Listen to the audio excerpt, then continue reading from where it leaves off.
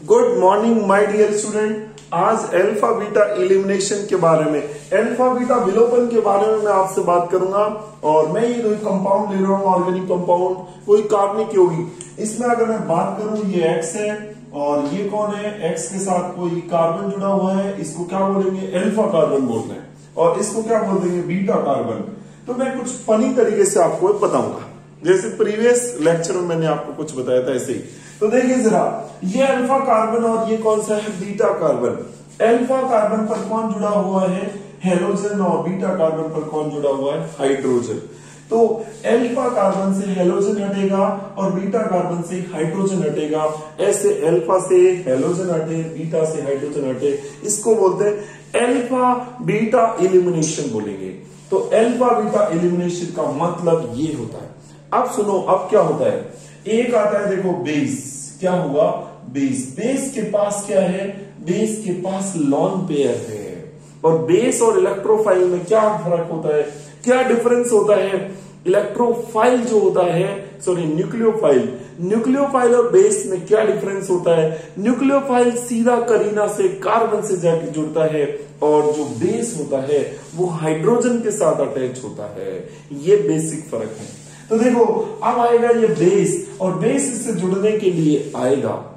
ये इसके पास आ रहा है बेस इससे जुड़ने के लिए। और बेस इसके पास जैसे जुड़ने के लिए आएगा तो और ये एक्स जो रहेगा इसके पास क्या है यहाँ पर? यहाँ पर जो हाइड्रोजन है, ये हाइड्रोजन इसको करेगा फ़ोन कर देगा इसको। ये घूम रहा है बेस मोहल्ले में घूम रहा है।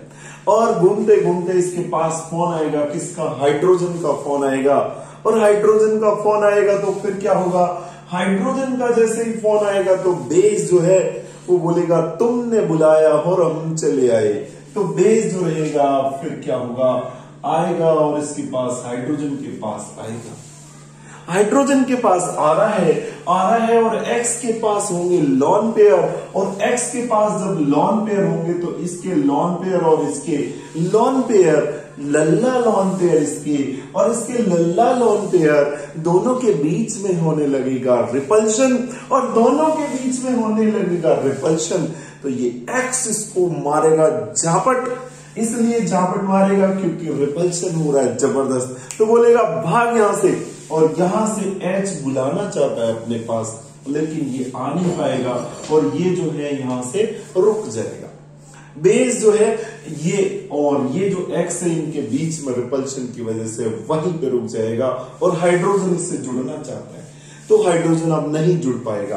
अब कोई दूसरा तरीका ढूंढेगा बेस अब बेस कोई दूसरा तरीका ढूंढ रहा है, अब देखो, अब बेस क्या करता है। अब बेस जो है, अब एक कोई लूना, उस पे आ रहा है साहब ये लूना है बेस की, ठीक है? और ये लूना की सवारी और इस पे बेस बैठा हुआ है, ये रहा। ठीक है बेस इस पे बैठा हुआ है और बेस अब जुड़ने के लिए आ रहा है इसके पास। और बेस अब जुड़ने के लिए आ रहा है तो आ रहा है किस पे? इस हाइड्रोजन पे। लेकिन होने लगेगा बेस के इलेक्ट्रॉन और एक्स के इलेक्ट्रॉन के बीच में रिपल्शन इसके लल्ला लोन पेयर और इसके लल्ला लोन पेयर के बीच में होने लगेगा रिपल्शन अगर इसके लल्ला लोन पेयर और इसके लल्ला लोन पेयर के बीच में रिपल्शन होने लगेगा तो ये बेस जो है इस हाइड्रोजन से नहीं जुड़ेगा। ठीक है? अब बेस जब इसके हाइड्रोजन से नहीं जुड़ेगा तो फिर ये जो एक्स है, इसको यहाँ से मारेगा, झापट, और बोलेगा, भाग जाए यहाँ से। क्योंकि रिपल्शन हो रहा है इसके बीच में तो बेस फिर नहीं जुड़ पाएगा। अब क्या करें? बेस इससे जुड़ ही नहीं पा रहा, किससे? हाइड्रोजन से। और जब तक बेस इससे हाइड्रोजन से नहीं जुड़ेगा, तब तक बात बनने वाली नहीं है। अब क्या होगा? अब क्या करें? अब क्या करें? अब सुनो अब इंटरेस्टिंग चीज़ ये है। अब बेस के पास बुज़ुर्ग इंसान है, उनके फ़ोन आएँगे और फ़ोन आकर के वो उसको सलाह देंगे। बात ऐसी है, भाई देख, कि ये बेस जो है इसको सलाह देंगे कि तू सामने से जाकर के मत जुड़, क्योंकि सामने बैठा हुआ है एक्स और इसके इसके बीच में रिपल्शन होगा तो फिर भागना पड़ेगा तेरे को। ठीक है, फिर एक्स तेरे को जो है जूते मार के भगाएगा। तो इससे बेटर है कि तू पीछे से जाकर के अटैक मार, और पीछे से जाकर के अब ये अटैक मारता है। देखो, अब ये पीछे से जाकर के इस पे अटैक मारता है बेस पे इस हाइड्रोजन पे। और जैसे इस पे हाइड्रोजन पे फिर जाकर के पीछे से बैक साइड अटैक मारता है तो अब होने लगता है क्या? अब होने लगेगा, बच्चों सुनो, यहाँ पर जैसे ही जाकर के इससे पीछे से जुड़ता है तो अब इसकी जुड़ने की प्रोसेसिंग बताता हूँ कैसे जुड़ेगा ये। तो देखें तो यहाँ पर ये कैसे जुड़ेगा? तो इस तरीके से जुड़ेगा, देखो पीछे से जाकर के जुड़ रहा है अभी। अब पीछे से आ रहा है सब बेस बेस जो आ रहा है, यहाँ से बैक साइड से आ रहा है ये जुड़ने के लिए। अब इसको थोड़ा सा मैं दिखाऊँ डायग्रामेटिकली देखो। ये हाइड्रोजन है, ये है, और ये एक्स है, और आ रहा है बेस इससे जुड़ने के लिए बेस पे है इलेक्ट्रॉन ठीक है? अब जुड़ने के लिए आएगा तो अब होगा क्या? अब सुनना क्या होगा? अब बनने लगेगा किसके बीच में? बेस, ये अपने इलेक्ट्रॉन देगा इस हाइड्रोजन को। तो बेस और हाइड्रोजन के बीच में बनने लगेंगे इलेक्ट्रॉन। और जैसे इलेक्ट्रॉन बनने लगेगा तो हाइड्रोजन का चक्कर चलने लगेगा किसके साथ? इस बेस के साथ। और इस बात का पता लगेगा किसको? करीना को। और करीना को जैसे ही इस कार्बन को पता लगेगा कि इनके और इनके बीच में बॉन्ड बनने लगे हैं। तो बॉन्ड बनने लगे हैं तो फिर क्या होगा? अब सुनना क्या होगा? यहाँ ये जो बॉन्ड है, इस बॉन्ड के इलेक्ट्रॉन को करीना लेकर के भाग जाएगी, क्योंकि पता लग गया उसको रिम के रिम के बीच में चलने लगा चक्कर। तो अब होगा क्या? ये करीना अपने बॉन्ड के इलेक्ट्रॉन को इधर फेंक देगी। और इसको बॉन्ड के इलेक्ट्रॉन को जैसे इधर फेंकेगी तो ये जो है, ये एक्स अब सोचने लगेगा कि ये करीना जो है, ये करीना पाँच बॉन्ड बना ही नहीं सकती अभी ऑलरेडी एक, दो, तीन, चार। चार बॉन्ड बने पड़े हैं, पाँच बॉन्ड नहीं बनाएगी। तो एक्स जो है, ये बोलेगा कि मुझे अब तो इलेक्ट्रॉन लेकर के भागने ही पड़ेंगे। और जैसे ही इलेक्ट्रॉन लेकर के यहाँ से भागेगा तो भागने पर ऐसी कुछ स्टेट बनेगी। सुनना, कैसी बनेगी ये बेस और ये जो हाइड्रोजन है, इसके बीच में अपन दिखाएँगे डैश डैश करके, क्योंकि बॉन्ड बन रहा है इनके बीच में। और क्या होगा? और ये होगा कि यहाँ पर ये जो बॉन्ड है, ये वाला बॉन्ड ये ब्रेक हो रहा है तो इसको दिखाएँगे डैश डैश करके। बॉन्ड फॉर्मेशन हो रहा है और बॉन्ड ब्रेकिंग हो रही है।